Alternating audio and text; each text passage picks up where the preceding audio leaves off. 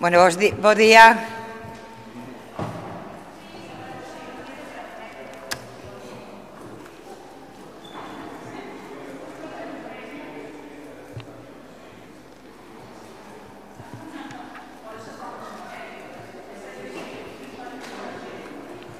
Bo día a todas e a todos.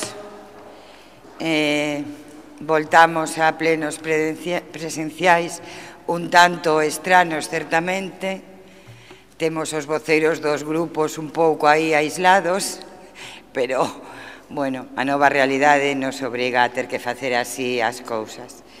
E antes de comenzar a orden do día e como voltamos aos plenos presenciais, quero voltar a agradecer a toda a corporación, moi, moi particularmente o voceiro do PP o seu comportamento necesario nesta situación, o se mesmo houbo esa primeira reunión que imos ter mensualmente para eh, falar de proxectos de presente e de futuro. Eh, antes de comenzar o pleno, eh, imos guardar eh, hoxe tamén un minuto de silencio polas vítimas da COVID-19.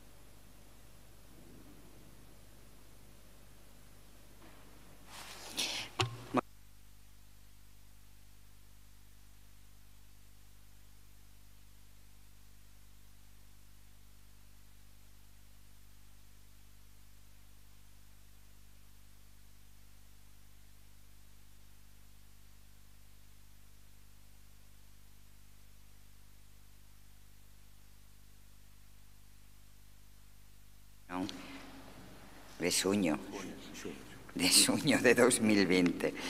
E na parte resolutiva, bueno, no primeiro punto, a aprobación do borrador da acta anterior de sesión ordinaria de 29 de maio de 2020. Algúnha apreciación? Queda, polo tanto, entendo, votada por unanimidade.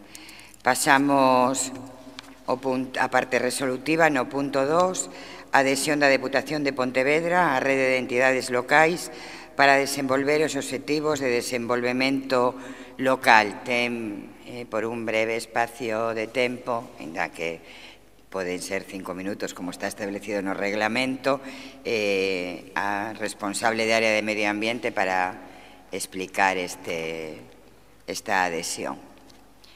Eh, pasa que aí non te vamos a escoitar, tens que hacer Ah, vale, vale. Te levamos.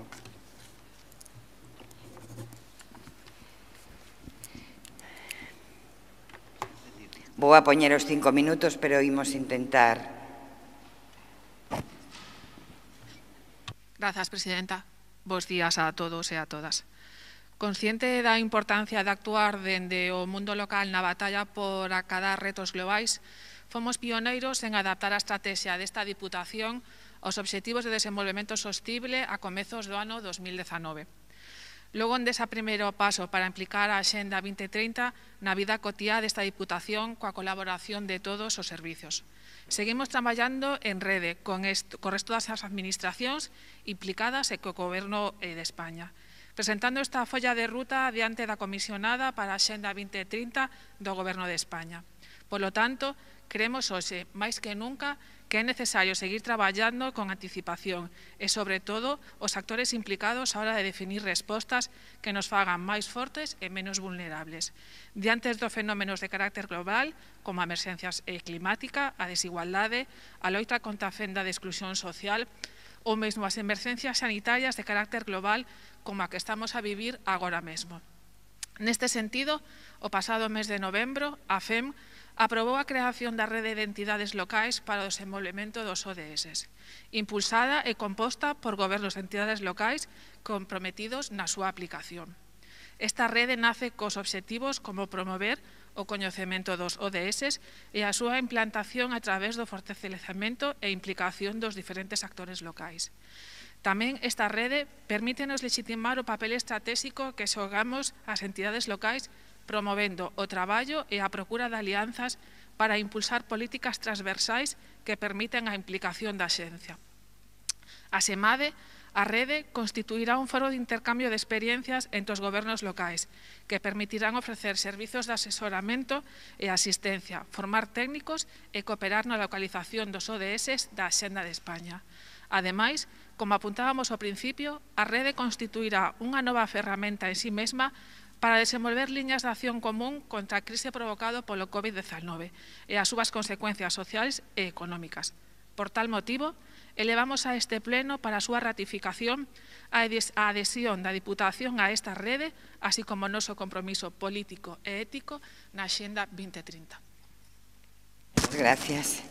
Alguna intervención? Señor Cubela. Bueno, nada, simplemente dicir que si o Goberno da Diputación entende que esta adhesión pode ser positiva para a provincia eh, pois nós vamos a apoialo, simplemente. Moitas gracias, señor Cubela. Entendo, polo tanto, que aprobamos a adhesión por unanimidade. No punto 3 da orden do día, a adhesión da Deputación de Pontevedra á rede de cidades que camiñan. O señor Benítez eh, vai a facer uso da palabra.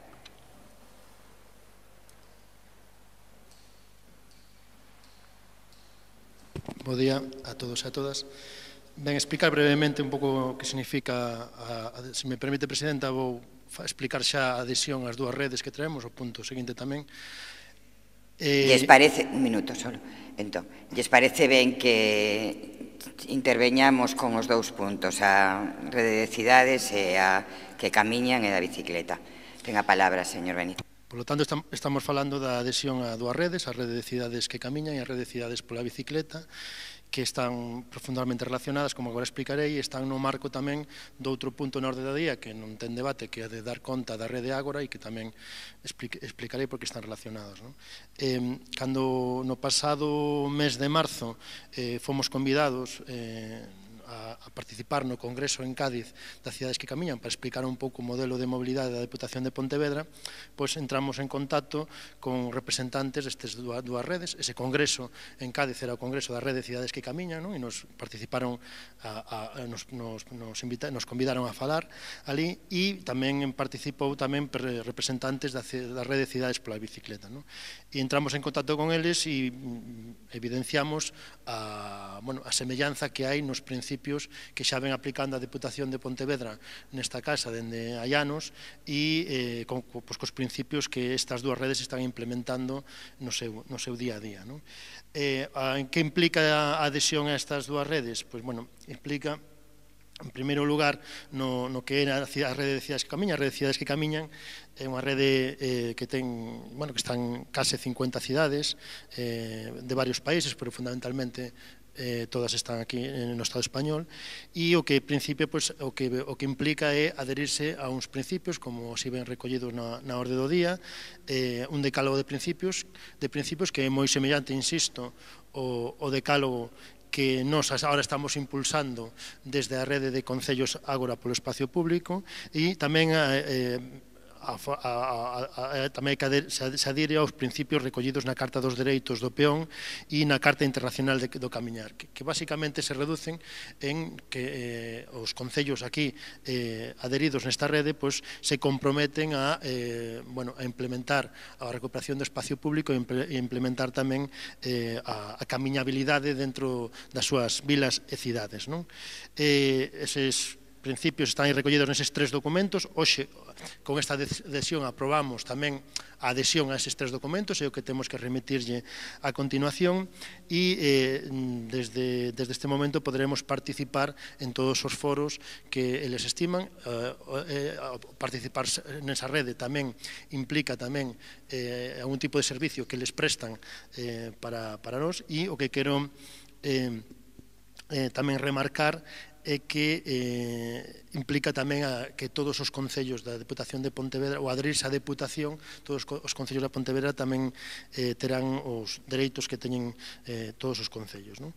Eh, En canto á rede de cidades pola bicicleta, o que está máis centrada é unha rede máis consolidada, ten máis anos que a rede de cidades que camiñan. Bueno, antes esquecime dicir que na rede de cidades que camiñan o presidente e o, e o alcalde de o alcalde de Pontevedra, creo que un date interesante o presidente nestes momentos, Pontevedra está aderida e outros concellos tamén de Galicia, e na rede de cidades pola bicicleta é unha rede máis consolidada, ten máis anos, hai máis ten máis municipios, ten casi 600 municipios, eh, e mm, ten tamén eh, a, a unha deputación, a Deputación de Barcelona, a Deputación de, de Guipúzcoa, que son os referentes en cuanto a implementación de políticas de fomento da mobilidade ciclista, son dous grandes eh, referentes e están, son os impulsores desa rede. A rede de cidades que camiñan, eh, nos vamos a ser a, a primeira deputación que forme parte dela, eh, e que, eh, bueno, que esperemos que axude tamén a consolidar esa, esa rede. Non? Eh, na rede de cidades pola bicicleta, o objetivo é implementar a mobilidade ciclista en todos os ámbitos e o uso da bicicleta como, como un, un método moito máis eh, sustentable de mobilidade cotía, eh, tamén a participación deles, poderemos, particip, poderemos participar en todo tipo de foros e todo tipo de servicios que les prestan e todos os concellos pois, se, se, que se, da, da Deputación de Pontevedra pois, se, se adherirán a eso. Isto está no marco, esta adhesión destas dúas redes está no marco do, da rede propia que o Concello, que a Deputación, perdón, eh, vai a crear cos concellos, que é a rede Ágora dos Concellos para o Espacio Público, que é unha rede que ten, mm, como xa presentamos públicamente, xa que se creou, se aprobou en, en Xunta de Goberno, e hoxe se dá conta aquí o Pleno, no que se, é unha rede na que ten pois, un, un, uns decalos de principios e na que a través dun protocolo de adhesión tamén eh, os concellos pois, teñen eh, uns compromisos eh, e asumen uns compromisos co, ca Deputación e a Deputación, e a Deputación tamén con eles. Non? Este, adhesión da, da, da estas redes é un dos servicios que a Deputación vai a dar aos concellos agora, aos concellos que se adiran a, a, a rede Ágora. E, e polo tanto, pois, van poder participar como un membro máis, sendo quen vai canalizar o, a, a ser o membro a Deputación SOA cunha cuota que aquí xa se explica de 6.000 euros, pero quero remarcar que todos os concellos que participen na rede Ágora van a participar de facto nestas dúas redes, con todos os dereitos, igual que cualquier concello que xa está formando parte deso. Vale? Muchas gracias, señor Benítez. ¿Alguna? Señor Cubela. Sí, nada, por engadir no turno de intervención da oposición, manifestar o voto favorable do Grupo eh, Popular, un voto de confianza, á espera de ver en que se concretan os compromisos dos que falaba o deputado delegado, dicir que a provincia é moi heteroxénea, eh, contamos con unha extensión moi grande, concellos con núcleos de población eh, máis poboado, menos poboados, con maior ou menor densidade de poboación, e o que sí, pois, que, valga para axudar a seguridade peonil, a seguridade e a mellora dos espacios, e nese voto de confianza manifestamos hoxe o noso apoio. Eh, consideramos, ademais, que o proxecto da Rede Ágora, para a cal a manter unha reunión a vindeira semana co diputado delegado algúns deputados do noso grupo, pois vaya por diante a nosa man tendida neste proxecto e sempre cando, pois, bueno, que os eh, motivos e os principios desta, desta cuestión se concreten, se materialicen e que podamos tamén seguir apoiando no futuro. Moitas gracias. Gracias, señor Cubela. Entendo, polo tanto, que o punto 3 de adhesión da Deputación de Pontevedra de cidades que camiñan aprobamos por unanimidade tamén o punto 4 de adhesión da Deputación de Pontevedra a rede de cidades pola bicicleta. Pasamos ao punto 5 expediente de modificación de quereito número 4 barra 2020 doulle a palabra ao señor Fon para que brevemente eh, a explique, inda que xa é eh, coñecida por todos nós.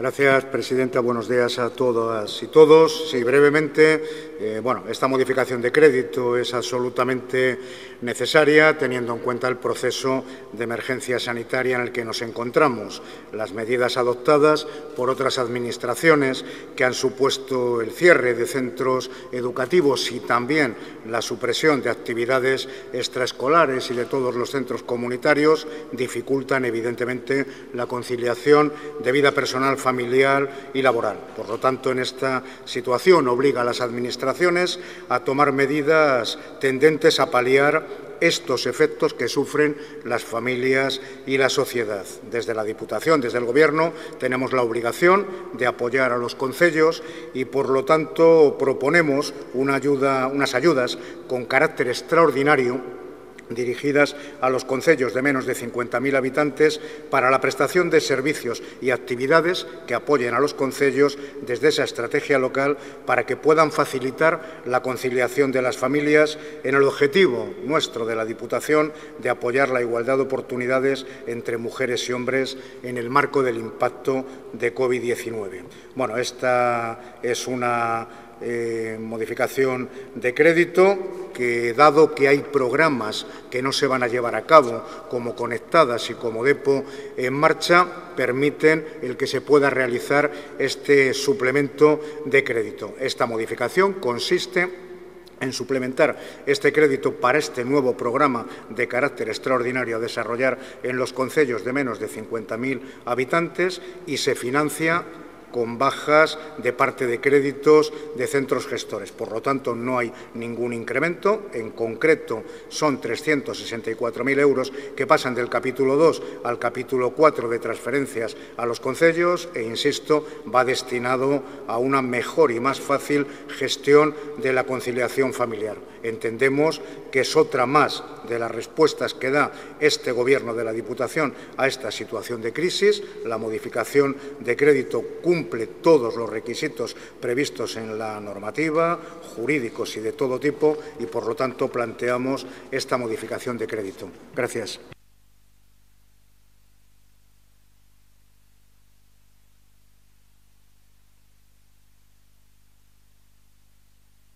Pois, bueno, manifestar que o Grupo Popular aplaude esta modificación de crédito, habendo crédito suficiente noutras bolsas de vinculación pois que se poida destinar a esta finalidade e bueno, pois deixamos sobre a mesa a mesma petición que fixemos na comisión de que se poidan realizar novas aportacións ao longo do exercicio para esta causa en concreto na que todos estamos eh, perfectamente identificados. Moitas gracias. Gracias, señor Cubela. Por lo tanto, tamén entendo que votamos por unanimidade este expediente de modificación de crédito. Eh, no punto 6, expediente de crédito extraordinario do Consorcio contra Incendios e Salvamento das comarcas do Deza e Tabereos Terra de Montes. Hai algunha observación? Pois o sometemos a votación e queda aprobado por unanimidade tamén. Eh, no punto 7, Expediente de suplemento de créditos número 1 2020 do Consorcio Provincial de Pontevedra para prestación do Servicio contra Incendios e Salvamento. Algúnha observación? Entendo que votamos por unanimidade. Informarlles que estamos traballando coa Xunta para eh, poñer en marcha un eh, pasar da xestión indirecta a xestión directa deste de servicio. No 2021 finaliza a concesión e tamén, señor Cubela, nos sentaremos con vostede para ir informándolle eh, a medida que se vayan a producindo as reunións de cales son os avances. De feito, creo que está previsto o próximo venres a primeira reunión coa Xunta porque temos que intentar que antes de que remate a concesión podamos ter a en marcha, pero tamén iremos dando cumprida información desta, desta cuestión. Pasamos ao punto 8 da orde de orden do día, resolución do acordo marco que regula contratación de obras de conservación de firmes na rede viaria da Deputación de Pontevedra, lote 3, zona C, asudicado a Anesia Infraestructuras sociedade limitada.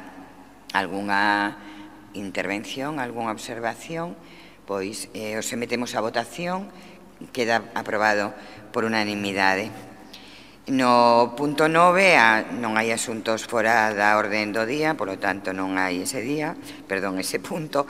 No punto eh, na parte B de a orden do día do pleno, na parte de información e control, No punto 10 dan conta do informe de intervención do período medio de pago a proveedores correspondente ao mes de maio de 2020. Non hai intervencións.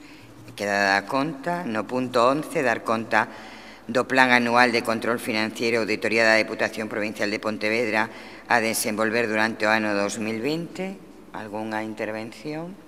Queda dada conta. No punto 12 dar conta da resolución presidenciais aprobada gastos de emerxencia tramitadas no servizo de contratación. Se non hai intervencións, queda enterado. No punto 13, dar conta da creación da rede de concellos Ágora polo espacio público e aprobación do seu protocolo de actuación da que xa deu conta o responsable e tamén eh, interveu a oposición para dar un voto de confianza en todos os puntos que teñen que ver con estas redes de recuperación de espacio público, por tanto queda enterado o pleno. No punto 14, dar conta das resolucións presidenciais, non hai observacións, queda eh, enterado. Antes de pasar a rogos e preguntas, sí que me gustaría estou segura que o fago en nome de toda a corporación, facerlle un gran recoñecemento a todas os servicios da Deputación de Pontevedra porque fixeron un esforzo tremendo porque o período medio de pago descendera ata por debaixo de oito días, o cual pois é un esforzo moi grande, eu yo quero agradecer, porque certamente isto é algo que tramitan os funcionarios e as funcionarias, non? Si eles non se comprometen en que isto suceda, pois é moi difícil ser capaz de, non, de ter este período medio de pago tan tan eh, corto. E eu lle quero agradecer moitísimo ese traballo, moi particularmente a intervención que fixo un enorme esforzo e que sei que está aí pendente de que se cumpra e tamén a a todos os servicios, a Secretaría tamén particularmente, así que de verdade que quería facer este recoñecemento, sei que houve moito traballo e en tempos de, de vida telemática todavía é máis complexo, por lo tanto, bueno, pois pues hai que recoñecerlo, non? E xa pasamos a rogos e preguntas. Punto. Señor Cubela. Formulo o primeiro rogo en relación á línea 3 do plan de emprego que se podería ter presentada se seguíramos celebrando as comisións do COVID, pero por sorte, pois, por motivos entendemos que positivos, xa non hai que, que seguir celebrando as no mesmo sentido. Entón, formulo o seguinte rogo. Con relación ás bases do, do plan de emprego da línea 3, onde pois, a xustificación final nas bases indícase na orde que todos os contratos deben iniciarse a partir do 1 de xaneiro e finalizar o 31 de decembro do 2020. Ante a situación excepcional que están a vivir os concellos, que estamos a vivir os concellos, que, que que pasar polo estado de alarma, Moitos pois, non puderon celebrar os procesos de contratación segundo marca a lei, con todos os prazos sucesivos que hai que facer, e, polo tanto, pois, o rogo que queremos formular, unha vez que tamén estuveron suspendidos, ademais, é que rogamos que se poida xestionar ampliar o prazo de remate dos contratos polo menos ata finais do mes de xaneiro ou de febreiro formulámoslo a ver se dende os departamentos de Secretaría e Intervención se pode facer o esforzo de incorporar algún crédito para poder facer, polo menos agora, contratos de seis meses. Moitas gracias. Veremos si é posible legalmente, eh, o estudiaremos, señor Cubela. Tomamos nota do seu rogo. Algún rogo? Pase de aí. Hola, bons días, Presidenta. Bons días. Eh, eu quería facer un, o seguinte rogo, eh, que nos gustaría que se nos facilitase unha relación de todos os convenios eh, que se asinaron no ano 2019 e 2020 para o, o que é a urbanización e, eh, ou reurbanización de estradas provinciais nos seus tramos urbanos e interurbanos. E ademais unha relación, bueno, que incluye esa relación que incluya os proxectos de asfaltados ou reasfaltados nos cuales hai unha reorganización de espacios donde se crean novas plazas de aparcamento ou donde se eh, crean zonas peonís que na práctica pois, son tamén reurbanizacións. 18, 19, 19, 20. 19, 20. 19,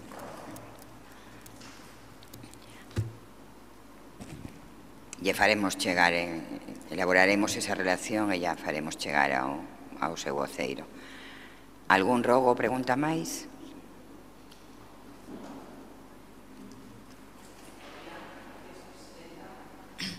Sí, sí, vale. Gracias. Bueno, nós tamén queremos facer un rogo para pedirlle que a Deputación paralice de xeito inmediato o proxecto de mellora da Estrada Provincial EP 2906 entre eh, Vilar Guizán, xa que os veciños amosaron unha vez máis a súa oposición total a este proxecto xa onte no pleno ordinario que tivemos en Redondela ante a alcaldesa non queren este proxecto así Creemos que teñen unha oportunidade de sentarse cos veciños, de falar con eles e de que entendan que estes veciños non queren que na mesma estrada teñamos veciños de primeira e veciños de segunda. Por iso lle pido que paralicen o proxecto, que falen cos veciños e que entendan a súa posición. Nada máis, gracias. Vou a facer unha pequena reflexión para que todas e todos entendamos non? algunhas cousas. Primeiro, o proxecto desenvolvido no pasado era un desastre de proxecto, non ten nada que ver cos novos modelos de actuación no espacio público, nos viarios públicos, aceras estreitas, altas, que no século XXI non se poden consentir, xa eso un modelo do pasado, antigo. Pero non soamente eso, non? O proxecto contempla no medio da vía, todavía quedan eh, as luminarias, é un, é un desastre o que estaba feito nese proxecto. O proxecto que agora diseñamos é un proxecto do século XXI, donde se recupera o espacio público, donde se dá prioridade aos peóns, eh, moderno, eh, adaptado a o que hoxe se demanda. Certamente eu entendo que moitas veces as veciñas e os veciños acostumados a outro modelo de aceras altas, de escasos con moi pouco espacio para os viandantes e escoste o cambio de modelo. Lle aseguro, diputada, eh, que eso nos ten acontecido en outros espacios, cando presentamos proxectos. Poño, por exemplo, un proxecto en San Vicente, donde en principio a xente rexeitaba o modelo, porque querían o modelo habitual, e que está non pensado para a xente, nin para os peóns, sino pensado para os vehículos.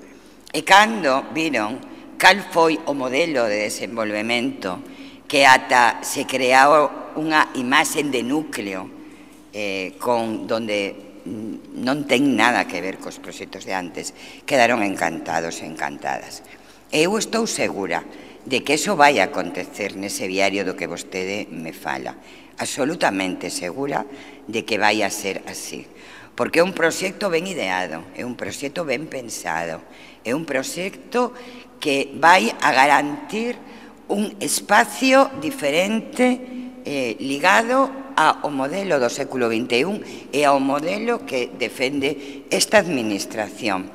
Eu creo que as administracións públicas teñen que apostar polo cambio, ser valientes para apostar polo cambio. Eu lle pido a vostede que coñece o proxecto, porque en parte o traballamos con vostedes, cando vostedes gobernaban, polo tanto, vostedes, cando gobernaban en Redondela, deron o visto bo a este proxecto, deron o visto bo a este proxecto nunha reunión coa anterior responsable de mobilidade, o señor Benítez e o señor Vaz, alcalde de Redondela. Eu lle pido que vostede faga o esforzo de defender este modelo, porque é un modelo moito mellor señora deputada, nos dispostos a falar que as veciñas e os veciños? Claro que sí, sin ningún problema, se si nos temos que voltar a sentar, porque eu sei que a alcaldesa se sentou, explicou, e a maioría da veciñanza estaba de acordo. Eu vin as fotos de a xente que se manifestaba, non máis alá de 10, 12 persoas. algunhas identificadas, eh, que coñecemos, que son eh, eh, e que defenden, non? E a mí me parece moi ben que a xente ten todo o dereito do mundo a intentar que se modifiquen os proxectos. Pero nos defendemos este proxecto, eu son así de clara, en todo caso. Se temos que volver a falar cas veciñas e os veciños, pois o falaremos, eu teño tomo en nota o seu rogo, como non pode ser de outra forma, pero ya seguro que é un gran proxecto e que a xente vai quedar encantada. E máis, logo nos van a solicitar que os proxectos sexan como que imos a facer ali. Pero, en todo caso, eu tomo nota do seu rogo. E rematado o pleno, o número de rogos e preguntas, pois levantamos a sesión e moitísimas gracias.